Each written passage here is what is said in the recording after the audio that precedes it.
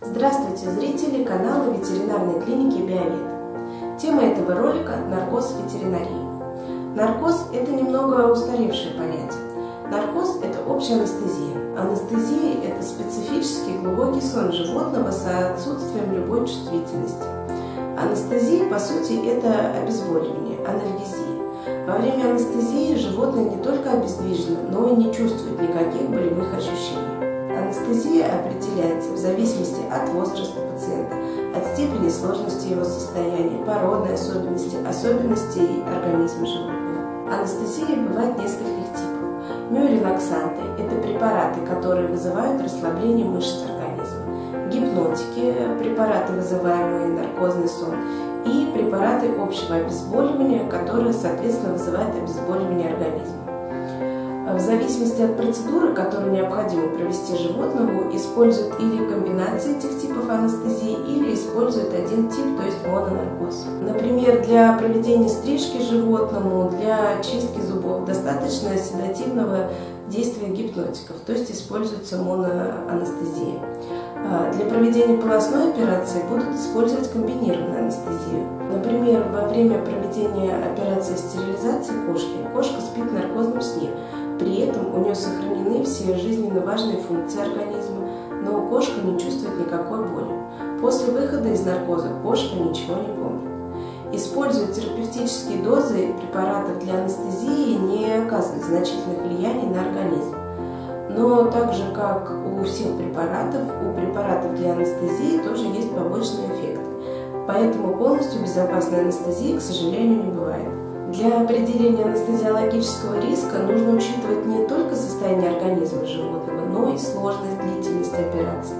При длительном введении в анестезию, соответственно, анестезиологический риск увеличивается, то есть влияние препаратов для анестезии будет иметь более негативный характер на организм животного но при этом все эти влияния кратковременны. Все процессы обратимы и не вызывают отложенных последствий после прекращения действия анестезии. То есть наркоз – это не яд для организма, а от наркоза не отказывают почки, печень и прочие органы. Негативное влияние наркоза не настолько велико, как влияние боли и стресса. Часто владельцы животных употребляют такое понятие, как щадящий наркоз. Щадящего наркоза не бывает. Также не бывает наркоза легкого и тяжелого. Анестезия бывает внутривенная, ингаляционная, эпидуральная, местная или общая, кратковременная или долгосрочная. Также, как уже было сказано выше, используются монопрепараты или комплекс препаратов. Чаще всего, конечно, используются комбинированные препараты, так как использование их в комплексе позволяет снизить дозу каждого препарата, что уменьшает негативные последствия.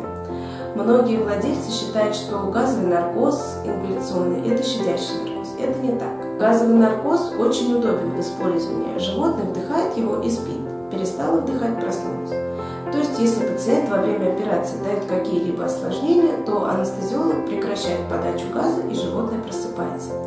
Но есть и сложности.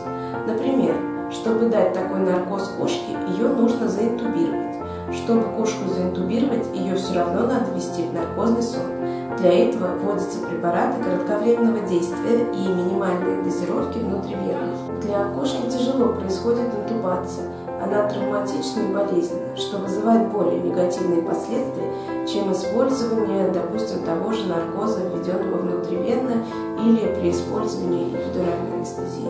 Некоторым животным с сердечной патологией даже противопоказан газовый наркоз. А, наркоз облегчает работу ветеринарных специалистов при проведении операций. Так как существует множество видов наркоза, то предоставляется возможность выбора для каждого отдельного случая.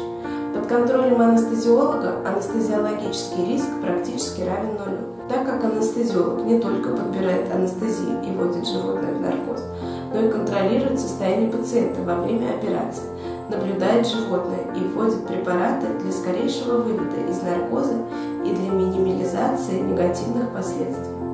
Поэтому не так страшен наркоз, как о нем говорят. Если у вас остались вопросы, оставляйте их в комментариях, мы вам обязательно ответим. Подписывайтесь на канал ветеринарной клиники Биовет, ставьте лайки. Всего вам доброго, до свидания.